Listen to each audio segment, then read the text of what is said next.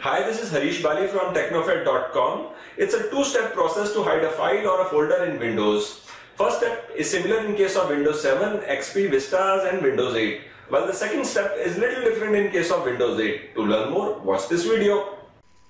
I'm going to share two methods to hide files. First method is a little basic and uses Windows Explorer option and second method is a little advanced and uses command prompt. So let's start with the basic.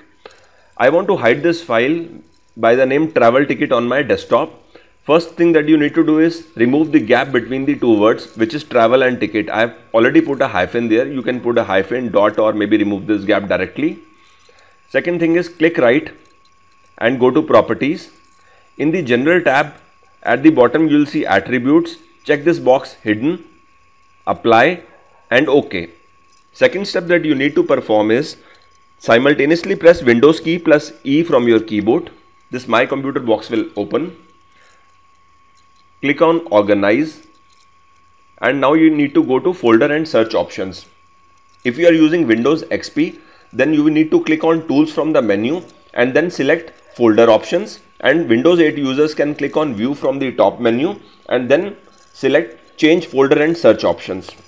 So click on folder and search options. Click on this view tab and check this box don't show hidden files, folders or drives. Apply and OK. Let's check.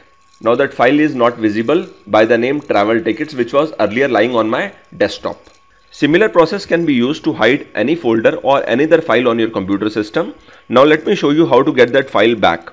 Simultaneously press Windows key plus E from your keyboard go back to organize click on folder and search options view show hidden files and folders apply and ok this is the travel ticket file which is back.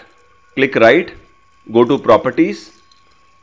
In the general tab uncheck this box apply and ok so your file is back.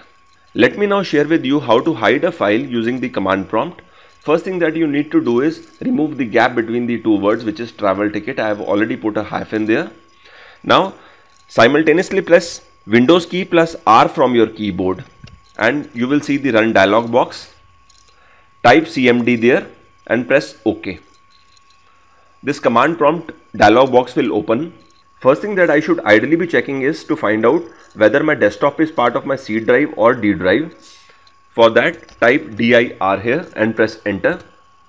I can very clearly see that my desktop is part of C. Let's make this screen large. Now I need to type cd which is change drive space desktop and press enter. Type a double t r i b attrib space name of the file that's lying on my desktop which is travel ticket travel hyphen ticket. Be sure that you are writing the correct file name including the hyphen in between dot write the extension. So this is a word file and the extension is doc, docx space plus s space plus h and press enter. Let's check the file on my desktop. Refresh it and that file is gone. Let me now show you how to get that hidden file back. Simultaneously press Windows key plus R from your keyboard Type CMD on the run dialog box and press OK. Type CD space desktop, enter, attrib space name of the file travel hyphen ticket dot docx space minus s space minus h. Now press enter and we have got our file back.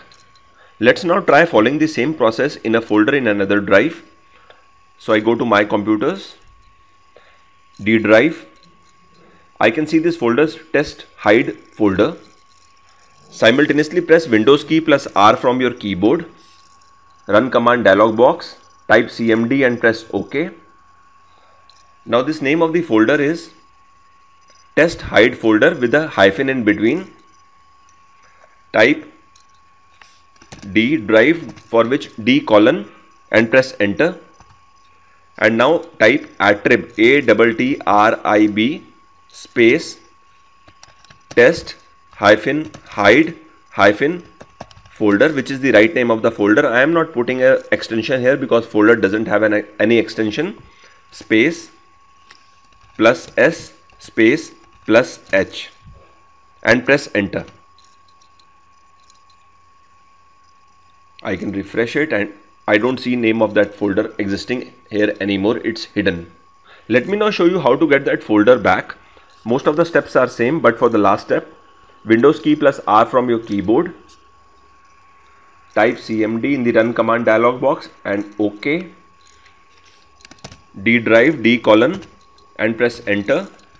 Attrib a double t r i b space name of the folder test hide hyphen folder space minus s space minus h and press enter.